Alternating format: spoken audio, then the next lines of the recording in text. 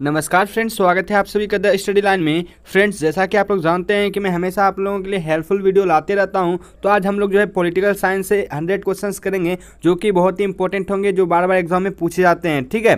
चलिए friends video को बिना देरी स्टार्ट करते हैं। अगर अभी तक आपने मेरे चैनल को सब्सक्राइब नहीं किया है तो पहले सब्सक्राइब कर लीजिए, साथ में बेल का आइकन भी दबा दीजिएगा, ताकि मैं जब भी वीडियो अपलोड करूँ तो आपके पास वो नोटिफिकेशन पहुँच जाए। तो फ्रेंड्स, चलिए वीडियो को स्टार्ट करते हैं।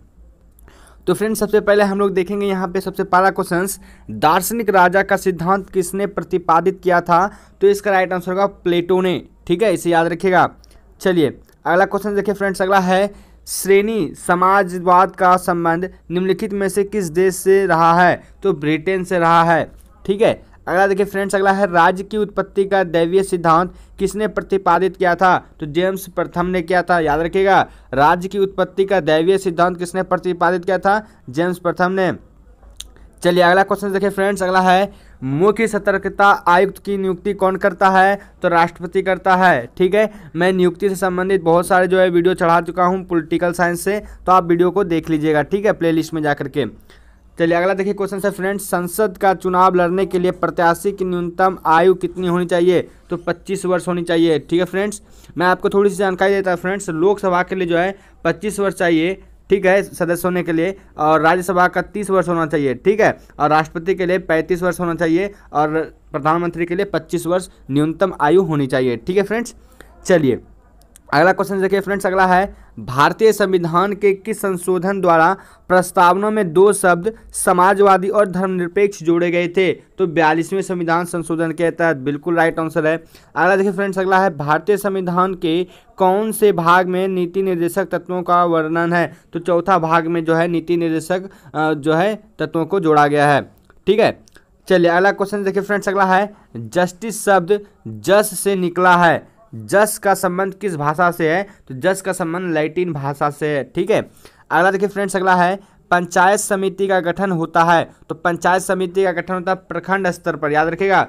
पंचायत समिति का गठन होता है प्रखंड स्तर पर। चलिए, अगला क्वेश्चन है फ्रेंड्स, अगला है, मेरे पास खून, पसीना और आँसू के अतिरिक्त देने के लिए कुछ भी नहीं है, यह कथन किसका था? तो यह कथन है चर्चिल का, याद रखिएगा। अगला है फ्रेंड्स, यूनेस्को का मुख्यालय कहाँ स्थित है? तो यूनेस्को का मुख्यालय जेनेवा में स्थित है, इसे भी याद रखिएगा। चलिए, नेक्स्ट क्वेश्चन बढ़ते हैं आगे।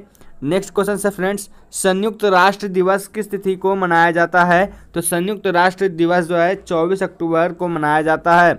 अगला देखिए फ्रेंड्स, भारत सरकार का प्रमुख विधि प्रमुख विधि अधिकारी कौन है? तो भारत के महाव्या महान्यायवादी, ठीक है, भारत का महान्यायवादी। चलिए, अगला क्वेश्चन देखते हैं फ्रेंड्स अगला है, योजना आयोग का अध्यक्ष कौन होता है? तो योजना आयोग का अध्यक्ष जो है, प्रधानमंत्री होता है। लेकिन फ्रेंड्स योजना आयोग को बदल करके अभी नीति आयोग बना दिया गया है। याद रखिएगा, नीति आयोग, ठीक है? जो है, प्रधानमंत्री होते हैं इसका अध्यक्ष, नीति आयोग का, ठीक है? योजना आयोग को हटा दिया गया। इसके जगह पे नीति आयोग लाया गया। अगला देखिए फ्रेंड्स भारत छोड़ो आंदोलन कब शुरू हुआ था? तो भारत छोड़ो आंदोलन 1942 में शुरू हुआ था, इसे भी याद रखिएगा। चलिए, अगला देखिए फ्रेंड्स अगला है कि संविधान के किस भाग में भारत के नागरिकों के मौलिक अधिकारों का उल्लेख किया गया है तो भाग तीन में किया गया है। तो फ्रेंड्स, आपको मैं बता देता हूँ कि मौलिक अधिकार जो है अभी वर्तमान में छः है। पहले सात था, लेकिन वर्तमान में अभी छः है। तो गलती मत कीजिएगा। अगर आपसे पूछा गया, अगर क्वेश्चन पूछा जाता है एग्ज़ाम में तो मौलिक अधिकार कितने हैं? तो छः हैं। और पहले थे सात, जो कि सात में से एक को हटा दिया किसको? संपत्ति के अधिकार को हटा दिया गया। मौलिक अधिकार से किसमें? चौवालीसवें संविधान संशोधन के तहत। इसे भी याद रखिएगा। संपत्ति के अधिकार को मौलिक अधिकार से हटा दिया गया। किस संशोधन के तहत? तो चौवालीसवें संविधान संशोधन के तहत जो है, संपत्ति के अधिकार को मौलिक अधिकार से हटा दिया गया। इसे भी याद रखिएगा। तो इस तरह से मौलिक अधिकार अभी छः है। अब मौलिक कर्तव्य कितने हैं? ग्यारह है, याद रखिएगा। मौलिक अधिकार छः मौलिक कर्तव्य ग्यारह, ठीक है? उम्मीद है आपको समझ में आई होगी। अगला देखिए फ्रेंड्स, अगला है, स्वराज मेरा जन्मसिद्ध अधिकार है। यह किसने कहा था? तो लोकमान तिलक, यानी कि बाल गंगाधर तिलक ने कहा था। बिल्कुल लीजिए। चलिए, अगला क्वेश्चन देखिए फ्रेंड्स अगला है, संयुक्त राष्ट्र संघ के सुरक्षा परिषद की सदस्य कितनी है? तो पंद्रह है, याद रखिएगा। अगला है फ्रेंड्स भारतीय संविधान का अभिभावक कौन है? तो सर्वोच्च न्यायालय, याद रखिएगा, सुप्रीम कोर्ट। चलिए, अगला देखिए फ्रेंड्स अगला है, संसद को भंग करने के लिए कौन सा सक्षम है? यानी कि कौन सक्षम है? तो संसद को भंग कर सकता है राष्ट्रपति, ठीक है? राष्ट्रपति के अलावा कोई भंग नहीं कर सकता संसद को, ठीक है? देखिए फ्रेंड्स, अगला है, स्वतंत्रता संग्राम में गांधी जी ने किसान आंदोलन कहाँ से प्रारंभ किया था? तो स्वतंत्रता संग्राम में गांधी जी ने जो है, किसान आंदोलन चंपारण से जो है प्रारंभ किया था, याद रखेगा 1917 अगला देखिए फ्रेंड्स सन 1909 में, नौ के एक्ट को दूसरे किस नाम से पुकारा जाता है? तो किस दूसरे नाम से पुकारा जाता है? तो मार्ले मिंटो सुधार, ठीक है? अगला देखिए फ्रेंड्स भारत सरकार का संविधानिक अध्यक्ष कौन होता है? तो राष्ट्रपति होता है। फ्रेंड्स वीडियो को अंत तक देखिए, बहुत ही इंपॉर्टेंट क्वेश्चंस मैं करा रहा हूँ, ठीक है? बस एक बार ध्यान से देखना है, ताकि आपको इजीली याद हो जाए। अगला देखिए फ्रेंड्स बयालीसवें संविधान संशोधन द्वारा किस अनुच्छेद में मौलिक कर्तव्यों को जोड़ा गया है? तो अनुच्छेद इक्यावन ए में जोड़ा गया, याद रखेगा इक्यावन ए में जो है, मौलिक कर्तव्य को जोड़ा गया है। और मौलिक कर्तव्य कितने हैं अभी वर्तमान में? तो ग्यारह है, इसे याद रखिएगा। अगला देखिए फ्रेंड्स, भारत की संविधान सभा किसके अनुसार गठित की गई है? तो कैबिनेट मिशन योजना के अनुसार जो है गठित की गई है। चलिए, आगे देखते हैं फ्रेंड्स, आगे है कि अतिरिक्त मूल्य के सिद्धांत का प्रतिपादन किसने किया था? अतिरिक्त मूल्य के सिद्धांत का प्रतिपादन कार्ल मार्क्स ने किया था। याद रखिएगा, कार्ल मार्क्स ने किया था इसे। रॉलेट एक्ट किस वर्ष पारित हुआ था? तो 1919 में रॉलेट एक्ट पारित हुआ था। ठीक है, चलिए अगला क्वेश्चन देखिए फ्रेंड्स, अगला है संविधान सभा का प्रथम अधिवेशन कहाँ हुआ था? तो दिल्ली में हुआ था, इसे भी याद रखिएगा। वर्तमान में भारतीय संविधान के कुल कितने भाग हैं? अभी वर्तमान में बाईस कुल भाग है, इसे याद रखेगा कुल बाईस भाग हैं। चलिए, अगला देखिए फ्रेंड्स, अगला है, किस कांड के कारण, किस कांड के कारण सहयोग, असहयोग आंदोलन बंद करना पड़ा था? वही चौड़ी चौड़ी चौड़ा कांड हुआ था, ठीक है? इसी कारण जो असहयोग आंदोलन को बंद करना पड़ गया था, ठीक है? अगले देखिए फ्रेंड्स अस्थाई संसद द्वारा भारत में कब तक अस्तित्व में रहती है? रही है। अस्थाई संसद भारत में कब तक अस्तित्व में रही है? तो अस्थाई संसद जो है, सत्रह अप्रैल उन्नीस सौ बावन तक जो है, रही है। अगला देखिए फ्रेंड्स योजना आयोग का प्रतिस्थापना किससे हुआ है? तो नीति आयोग, याद रखिएगा। अब जो है, नीति आयोग हो गया है, योजना आयोग के स्थान पर, ठीक है? जैसा कि मैंने आपको ऊपर में भी बताया था। अगला देखिए फ्रेंड्स है उपराष्ट्रपति को उसके कार्यकाल की समाप्ति के पूर्व पद से हटाने का अधिकार किसको है तो सांसद को याद रखेगा। चलिए अगला क्वेश्चन है फ्रेंड्स भारतीय रा, भारतीय राष्ट्रीय कांग्रेस की प्रथम महिला अध्यक्ष कौन थी तो एनी बेसेंट थी बिल्कुल इंपॉर्टेंट है बार बार पूछा जाता है। अगला देखिए फ्रेंड्स महात्मा गांधी द्वारा चंपारण सत्याग्रह शुरू हुआ था चंपारण सत्याग्रह 1917 में शुरू किया गया था याद रखिएगा। बिल्कुल इंपॉर्टेंट है। मैं आपको जितना क्वेश्चंस करा रहा हूँ, बहुत ही एग्ज़ाम के लिए इंपॉर्टेंट है, इसे ध्यान से देखेगा और अच्छा लगने पर, पसंद आने पर लाइक और शेयर ज़रूर कीजिएगा फ्रेंड्स ठीक है? अगला देखिए फ्रेंड्स संपत्ति संबंधी ट्रीटशिप के सिद्धांत का प्रतिपादन किसने किया था? तो महात्मा गांधी ने किया था, याद रखेगा अगला फ्रेंड्स जम्मू कश्मीर के मुख्यमंत्री की कार्य अवधि होती है। जम्मू कश्मीर के मुख्यमंत्री की कार्य अवधि छः वर्ष होती है, ठीक है? लेकिन जम्मू कश्मीर में अभी जो है मुख्यमंत्री नहीं है, राष्ट्रपति शासन है। अगला देखिए फ्रेंड्स है। आज़ाद हिंद फौज। आज़ाद हिंद फौज कब सक्रिय हुआ? तो 1942 में आज़ाद हिंद फौज जो है, सक्रिय हुआ था। अगला है फ्रेंड्स भारतीय लोक प्रशासन संस्थान की स्थापना कब हुई थी? तो मार्च उन्नीस सौ चौवन में हुई थी। चलिए अगला देखिए फ्रेंड्स न्यायिक पुराण, पूरा पुनरावलोकन का सिद्धांत न्यायिक पुनरावलोकन का सिद्धांत भारत के किस देश के संविधान से ग्रहण किया गया है तो संयुक्त राज्य अमेरिका से लिया गया है। याद रखिएगा राष्ट्रपति का जो चुनाव होता है फ्रेंड्स ये होता है अमेरिका से ही लिया गया है ठीक है? चलिए अब मौलिक अधिकार भी फ्रेंड्स अधिकार से आ, अमेरिका से ही लिया गया है। अगला देखिए फ्रेंड्स है भारत की स्वतंत्रता के समय स्वतंत्रता के समय जनरल गवर्नर कौन था? ठीक है यानी कि गवर्नर जनरल कौन था? तो लॉर्ड माउंट था भारत की स्वतंत्रता के समय में ठीक है? चलिए अगला देखिए फ्रेंड्स, अगला क्वेश्चन है कि गुट निरपेक्ष वैदेशिक नीति का प्रतिपादन किसने किया था? तो जवाहरलाल नेहरू ने किया था, ठीक है? अगला है फ्रेंड्स, आमतौर पर भारत के प्रधानमंत्री होते हैं, लोकसभा के सदस्य, बिल्कुल राइट है। आपको बताना है फ्रेंड्स क्वेश्चन कमेंट बॉक्स में कमेंट करना है फ्रेंड्स कि लोकसभा में वर्तमान में कुल कितनी सीटें हैं, याद रखिएगा। बताइएगा आप कमेंट बॉक्स में, वर्तमान में जो लोकसभा की कितनी सीटें होती है, हैं? आपको बताना है, चलिए। अगला फ्रेंड्स, भारतीय संविधान के किस अनुच्छेद में संविधान के संशोधन की प्रक्रिया है? तो किस अनुच्छेद में? अनु, अनुच्छेद तीन सौ अड़सठ में जो है, संविधान के संशोधन की प्रक्रिया है। याद रखिएगा, भारत गणतंत्र कब बना? तो भारत गणतंत्र बना 26 जनवरी 1950 को गणतंत्र बना था। अगला देखिए फ्रेंड्स, है, राज्य लोक सेवा आयोग के सदस्यों की नियुक्ति कौन करता है? तो राज्य के स्तर पर राज्यपाल करता है। याद रखेगा ये हमेशा याद रखिएगा फ्रेंड्स, केंद्र के स्तर पर जो है, हमेशा अधिक से अधिक जो है राष्ट्रपति करते हैं और अधिकतम जो है, राज्य की अगर राज्य की बात की जाए तो राज्यपाल ही करते हैं, याद रखिएगा। और राज्यपाल की नियुक्ति कौन करते हैं फ्रेंड्स? तो राष्ट्रपति करते हैं, याद रखिएगा। राज्यपाल की राज्यपाल की नियुक्ति राष्ट्रपति करते हैं, ठीक है? इसे भी याद रखिएगा। अगला फ्रेंड्स, विधान परिषद के कितने सदस्य प्रत्येक दूसरे वर्ष अवकाश ग्रहण कर, करते हैं? तो एक बटा तीन, ठीक है? चलिए, अगला क्वेश्चन देखिए फ्रेंड्स, अगला है प्राकृतिक अवस्था में मानव जीवन सूना निर्मल, निष्कुष्ट, अल्पजीवी था। यह कथन किसका है? तो हॉप्स का है, याद रखिएगा। अगला फ्रेंड समाजवाद का संबंध निम्नलिखित में से किससे है? तो समाजवाद का जो संबंध है, श्रमिक से है याद रखिएगा इसे भी। चलिए, अगला है फ्रेंड्स, संविधान सभा के गठन की मांग सर्वप्रथम अठारह सौ पंचानवे में किसके द्वारा प्रस्तुत की गई थी? तो बाल गंगाधर तिलक के द्वारा की गई थी। अगला है, आम आदमी पार्टी का स्थापना कब हुआ था? तो आम आदमी पार्टी का स्थापना 26 नवंबर उन्नीस सौ सॉरी 2012 को भी थी 26 नवंबर 2012 को भी थी। अगला देखिए फ्रेंड्स, गरीबी हटाओ के नारे के साथ किसका नाम जुड़ा है? तो इंदिरा गांधी का नाम जुड़ा है, याद रखिएगा। अगला फ्रेंड्स, वर्तमान समय में लोकसभा की पाँच सौ तैंतालीस सीटों में से कितनी सीटें अनुसूचित जाति के लिए है? तो चौरासी सीटें, याद रखिएगा। चलिए, अगला है फ्रेंड्स, कि भारत छोड़ो आंदोलन कांग्रेस ने कब शुरू किया था? तो 1942 में किया था। अगला है फ्रेंड्स, भारत के राष्ट्रपति संविधान के किस अनुच्छेद के अंतर्गत मंत्रिमंडल की सलाह मानने को बाध्य है? तो चौहत्तरवें अनुच्छेद के अंतर्गत, ठीक है? Seventy four. अगला है फ्रेंड्स, भारतीय संविधान सभा के अध्यक्ष कौन थे? तो डॉक्टर राजेंद्र प्रसाद थे, याद रखिएगा, भारतीय संविधान सभा के अध्यक्ष कौन थे? तो अध्यक्ष थे डॉक्टर राजेंद्र प्रसाद। अगला है फ्रेंड्स, भारत में कुल कितने उच्च न्यायालय हैं? तो चौबीस, याद रखिएगा, भारत में कुल कितने उच्च न्यायालय हैं? चौबीस।